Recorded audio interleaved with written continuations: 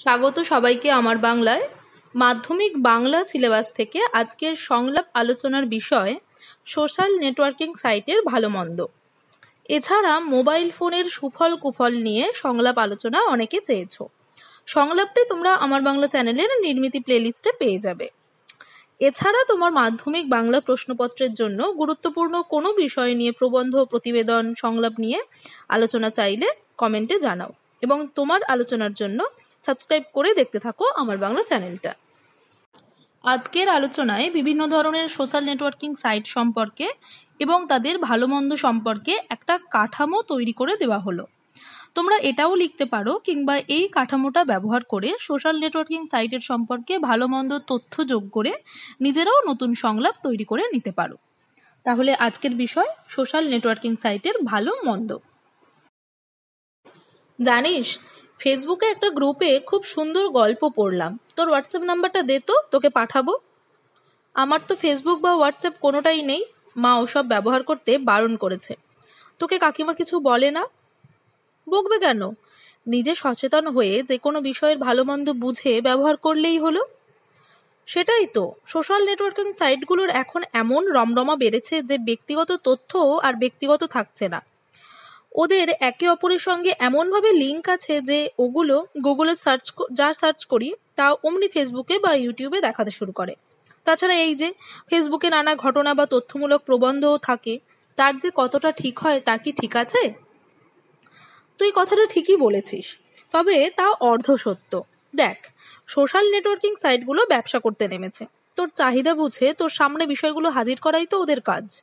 এখন তুই ব্যক্তিগত তথ্য দিতে না চাইলে তার ব্যবস্থা করারও সুযোগ আছে।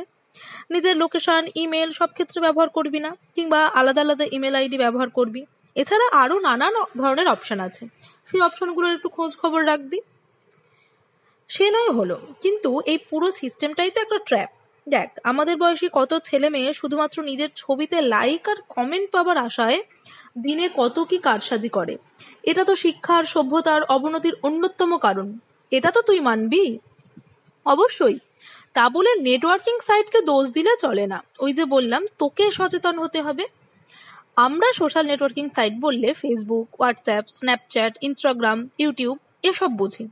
তুই কি জানিস, বইপ্রেমীদের জন্য গুড রিডস আছে? যেখানে তুই অন্যান্য ভাষার বইপত্র ঘরে বসে জানতে পারিস। ব্লগ লেখার, নানান জায়গার খবর জানার, শিল্পীরা নিজেদের ছবি প্রদর্শনীর, এরকম কত নানান নানান সাইট আছে সোশ্যাল নেটওয়ার্কিং তোর যে কোনো প্রশ্নের উত্তরের জন্য কোরা আছে।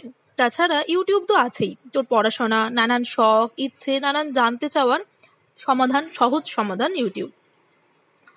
তুই ঠিকই বলেছিস। আসলে আমি কেবল সোশ্যাল নেটওয়ার্কিং সাইট বলতে ফেসবুক টুইটার ওই স্ন্যাপচ্যাট এসবের মধ্যেই আবদ্ধ হয়ে পড়েছিলাম। শুধু তুই নয়, বেশিরভাগ মানুষই। আর মানুষের একটা বড় সমস্যা হলো অর্ধেক জেনে মূল্যায়ন করা। সব বিষয়েরই ভালো মন্দ দিক থাকে। আর তার প্রভাব কেমন হবে তা আমাদের নিজেদের ব্যবহারের উপর নির্ভর করে। ঠিকই বলেছিস। আচ্ছা ওই যে ছবি প্রদর্শনীর সাইটটার নাম বলতে পারবি? ডেভিয়েন্ট আর্ট বেশ, এটাতেই তবে রেজিস্টার করব আজকে। সোশ্যাল নেটওয়ার্কিং সাইটের ভালো মন্দ নিয়ে সংলাপ আলোচনা এখানেই শেষ করা হলো। এছাড়া তোমার মাধ্যমিক বাংলা প্রশ্নপত্রের জন্য গুরুত্বপূর্ণ প্রবন্ধ প্রতিবেদন সংলাপ নিয়ে আলোচনা চাইলে কমেন্টে জানাও। আর তোমার আলোচনা পেতে দেখতে থাকো আমার বাংলা চ্যানেলটা।